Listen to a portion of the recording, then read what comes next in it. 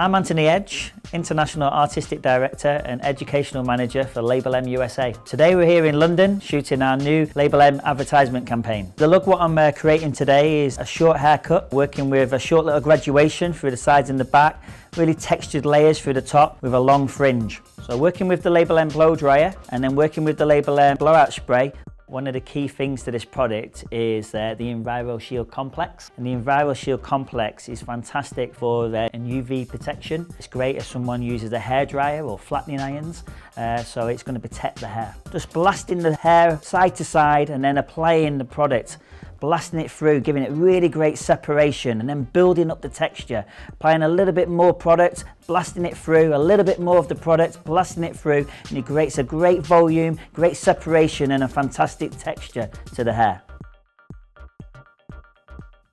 Uh, and then I wanted to apply another product from Label M and I applied the Label M Mesh Styling. The Label M Mesh Styling, it's a, a light fibrous product. Uh, it's really lightweight, so it's great for like fine hair to thicker hair. Again, all hair types, you can apply this.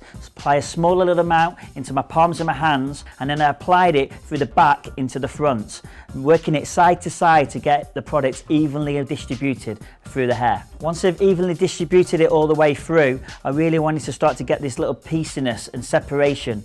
So we're trying to get this really edgy and versatile look. So creating a lot more texture around the crown and through the sides. With the mesh styling, it's a really light fibrous product, so it really works great on my model's hair texture because it is fine.